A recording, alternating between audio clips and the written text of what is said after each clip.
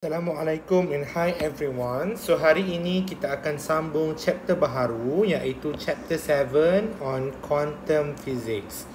Okay, so in this chapter you have to learn a three subtopic which is 7.1 the quantum theory of light, 7.2 is the photoelectric effect and 7.3 is Einstein's photoelectric theory. Okay, jadi kita tengok dulu what you should know in this topic. Okay, yang ini untuk 7.1. Kita mula dengan 7.1. So, apa yang kamu perlu tahu dalam 7.1?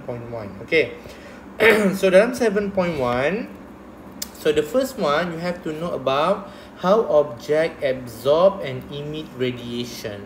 Okay, so dalam subtop uh, dalam uh, LO yang pertama ni you all kena tahu macam mana you all nampak bola tu warna biru, you all nampak api tu warna merah, uh, macam tu. Macam mana you all nampak objek tu uh, warna yang certain-certain warna sahaja nampak. Okay, so daripada sub, uh, apa LO pertama ni nanti kita akan tahulah. Yang kedua, you all kena tahu tentang apa dia black body. Okay, dan juga you all kena tahu juga apa dia black body radiation. Okey, nanti kita akan belajar tentang graf. Okey, dan juga tentang syarat. Okey, syarat macam mana objek tu dinamakan black body. Okey, syarat dia. Ada dua syarat yang kita akan tengok nanti. Okey, syarat dan graf. Okey, untuk subchapter yang kedua. Okey. Uh, dan yang ketiga, uh, kita kena tahu tentang idea that spark quantum physics theory. Apa sebenarnya yang menyebabkan quantum theory ni terhasil? Uh, kenapa classical theory tu kita tak ter, kita tak kekal dengan classical theory.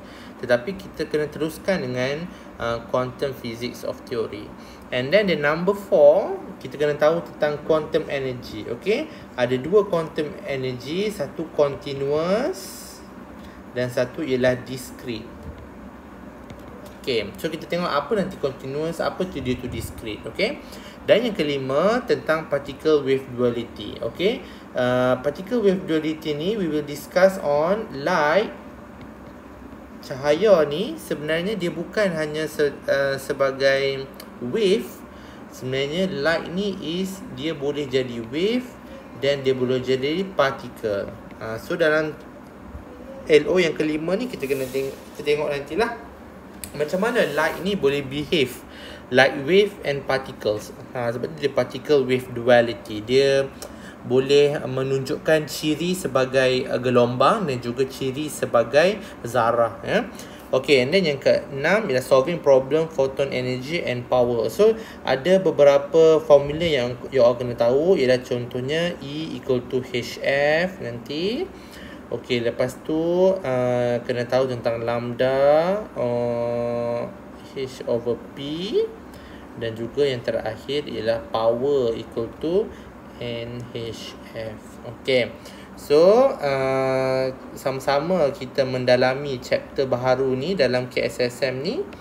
Okey, dalam sesi kali ini.